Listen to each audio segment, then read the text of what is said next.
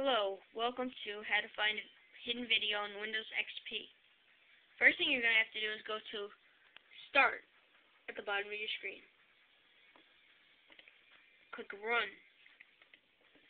And then you have to type in T-E-L-N-E-T and click Enter. Then the screen will come up. Type in the letter O, not zero, the letter O. Click Enter. Then this box will come up. It'll say two. It'll be in uh, carets. Well, sideways carets.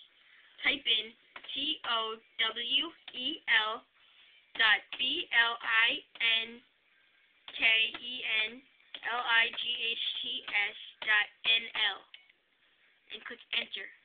Then the screen will come up and you have the full video of Star Wars Episode 4 but it's in all different symbols, like the at symbol, or the exclamation point, or the number 8, and this will come up. Once you see this, just watch through, it'll say, a long time ago in a galaxy far away, Star Wars! And then, you, the only thing is that it doesn't have sound, but it will start this way. And then, just continue watching.